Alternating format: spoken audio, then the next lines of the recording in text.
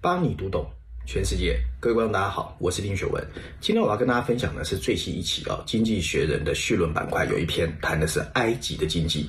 我想身在台湾的我们啊，对于中东或者非洲的埃及其实是非常不不不熟悉的哦。那尤其埃及虽然说它是古国，甚至我们知道金字塔，不过其实很多人对它的经济状况不是太了解。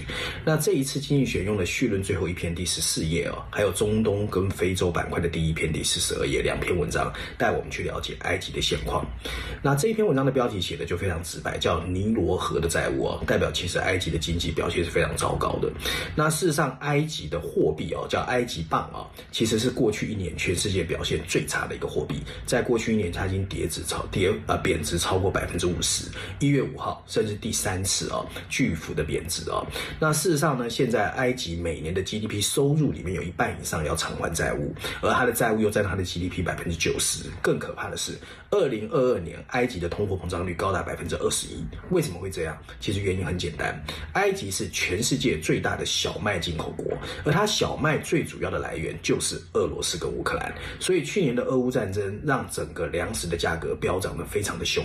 更糟糕的是，因为疫情的肆虐，所以它的观光收入也骤减，所以造成整个埃及的压力就非常的大。那当经济学在文章里面还特别提醒我们，更重要是埃及本身的政治体制也有问题，因为现阶段。几乎在埃及所有的商业世界都由军队或军方所把持，而政治政权也是由军方所把持。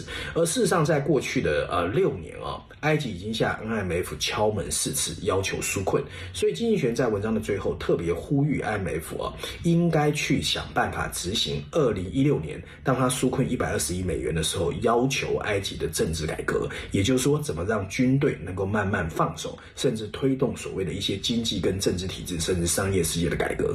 总而言之，现在这个世界充满了各种不确定的因素，所有的人都在猜测二零二三年的经济会怎么走。可是第三世界其实是很多人忽略，从去年的斯里兰卡到所谓的一些非洲国家的债务违约，到这一次我们提到的埃及，都在提醒我们：当我们把眼光放在所谓的亚太地区或者是西方阵营的时候，有可能一些中东、非洲、拉丁美洲的第三世界国家，在二零二三年会带给我们一些我们现在还。看不到的一些大窟窿。